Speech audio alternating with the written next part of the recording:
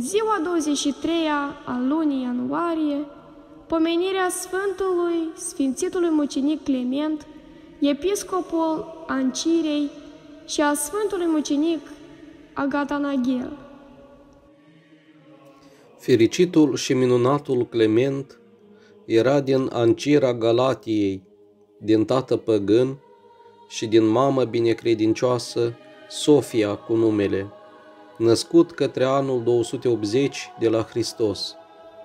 A intrat în mănăstire la vârsta de 12 ani, iar pentru viața lui înțeleaptă a fost făcut arhiereu la 20 de ani și se nevoia cu propovăduirea dreptei credințe pe timpul domniei păgânilor împărați Dioclețian și Maximian, amândoi aprigi prigonitori ai creștinilor. Iar fericitul Agatanghel era roman de neam și a fost botezat de însuși Clement, care atunci se afla la Roma, propovăduind credința și întărind pe cei prigoniți de urgia împărătească. Deci, fiind prinși, ei și aruncați în temniță împreună cu alți creștini, a fost hotărât ca fiecare să fie trimis la locul său de naștere ca să fie judecat acolo. Și Agatanghel s-a născut în corabia care avea să ducă pe Sfântul Clement, că nevrând el să se despartă de dânsul, l-a însoțit până la Ancira. Și au fost dați acolo în seama guvernatorului Luchie, ca împreună cu alți creștini să fie osândiți. Și fericiții Clement și Agatanghel, stând în fața guvernatorului lui Luchie și mărturisind cu tărie credința lor în Hristos, au fost dați la tot felul de chinuri, bătuți cu toiege, spânzurați, arși pe coaste, cu făclii aprinse, aruncați în cușca cu fiare, băgați câte două zile în varnița cu var, întinși pe paturi de fer înroșite, aruncați în cuptor ferbinte și azvârliți peste țepi tăioase și altele asemenea, încât se minunau prigonitorii de tăria răbdării lor. Deci, nevrând ei să se lepide de credință, a poruncit dregătorul să li se taie capetele, de împreună cu alți bărbați, femei și copii care crezuseră în Hristos și așa s-au mutat fericiți în cereștele locașuri și se face pomenirea lor la 23 ianuarie. Într-o această zi cuvânt din Pateric. Copul din Nola, care împărțindu-și averea sa în milostenii, s-au vândut pe sine la păgâni.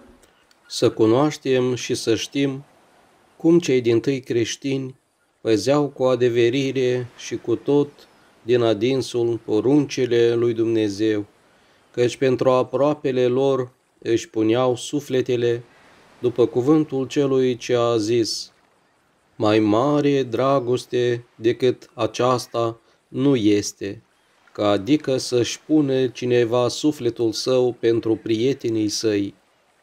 Și aceasta a făcut-o omul lui Dumnezeu, Paulin, căci toată averea cât avea a dat-o pentru eliberarea din robie a celor pe care vandalii îi robiseră din pământul Traciei.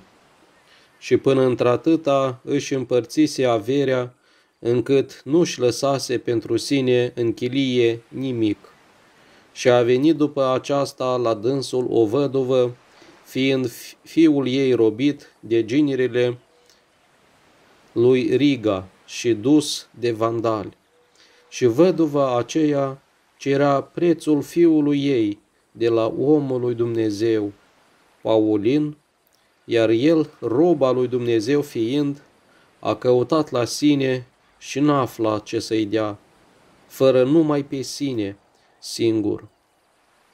Și i-a zis ei, altceva nu am ce să-ți dau ție, fără numai pe mine însumi rob mă dau, că adică pe fiul tău să-l scoți, iar pe mine însumi să mă vinzi rob în locul lui. Însă ea, auzind aceasta, îi se părea cuvântul lui mai mult o batjocură decât o milă. Iar acel bătrân înțelept, alinând durerea văduvei, îi adeverea și o încredința pe dânsa, ca să creadă cu din adinsul cele ce grăise către dânsa și pentru al său fiu să nu se înspăimânteze, a vinde în robie pe episcop. Deci s-au dus amândoi în Tracia și l-au găsit pe ginile lui Riga, conducătorul vandalelor, care avea pe fiul văduvei și a căzut ea înaintea lui, rugându-se ca să-i elibereze pe fiul ei. Iar bărbatul acela, mândrindu-se, nu numai că nu a vrut să îl dea, dar nici măcar să o audă. Atunci văduva i-a zis, arătând la episcop, pe acest om îl am și ți-l dau în schimb pentru dânsul, ca să faci milă cu mine, că unul născut îmi este fiul meu. Iar acela, văzând pe om cu fața lină, i-a zis lui, ce fel de meșteșug știi? Iar Paulin a răspuns, nu știu niciun meșteșug, ci numai la grădină știu bine a lucra. Deci, aceasta, auzind-o, barbarul, a dat înapoi văduvei pe fiul ei, iar ea, luându-l pe el, s-a dus, s-a întors la pământul său. După aceea, Paulind, luând grija grădinii, o lucra bine, iar ginile lui Riga adeseori venea la dânsul în grădină și cu al său grădinar discuta și foarte înțelept, văzându-l pe acesta, vorbea de toate împreună cu el și îl întreba pe el de multe lucruri. Iar Paulin în fiecare zi aducea la masa lui pepeni, ridichi și alte verdețuri bine mirositoare și așa, luându-și pâinea, ieșea la ostenelile sale și în acest fel multă vreme a petrecut. Dar într-o zi, vorbind stăpânul lui cu dânsul, Paulin în taină i-a zis lui, Vezi, poate voiești să te duci undeva, ci se cade ție să te îngrijești de împărăția vandalului, pentru că, iată, Riga de grabă o să moară. Deci de te vei duce, altul va apuca împărăția ta. Iar aceasta, auzind-o de la grădinarul său, nici de cum nu a tăcut, ci ducându-se a spus-o pentru că mai mult decât toți era iubit de Riga. Apoi i-a zis Riga ginereului său, Vreau să văd și eu pe omul acela de care îmi spui. Iar ginerele i-a zis, Acum îi voi porunci aceluia ca la vremea mesei să-ți aducă ție salată din grădină ca să-l vezi pe el, că acela mi-a spus. Iar când a șezut la masă Riga, a intrat Paulin, aducând din ostenelele sale verdețuri bine mirositoare. Și îndată ce l-a văzut pe el Riga, s-a cutremurat, chemând aproape pe ginerele său, în taină i-a spus lui zicând, Adevărate sunt acelea ce le-ați auzit de la dânsul, pentru că în noaptea aceasta am văzut un vis pe dregători stând la judecată împreună cu mine și mai sus decât toți sta acesta și cu judecata lor stăpânea pe care o avem din tâi mi s-a luat de la mine. Deci să-l întreb pe el cine este, pentru că eu pe acest om nu socotesc a fi un simplu om, ci în mare dregătorie l-am văzut pe el. Atunci, ginerile lui Riga, luând pe Paulin deoparte, îl întrebă și omul lui Dumnezeu i-a răspuns zicând, Robul tău sunt, sunt eu, pe care l-ai luat în locul fiului văduvei. Dar el, mai cu din adinsul, îl întreba zicând, Dar în țara ta ce ai fost? Iar Paulin, fiind îndelung supărat și jurămintele ce îi se făceau neputând să le calce, s-a descoperit pe sine că este episcop. Aceasta, auzind ginerile, s-a temut și cu toată smerenia i s-a plecat lui zicând, Cere de la mine orice vei voi, ca să te întorci cu mari daruri în pământul tău. Drept care omul lui Dumnezeu Paulin a zis, un dar bun poftesc de la tine, ca adică pe toți cei robiți din cetatea mea să-i eliberezi.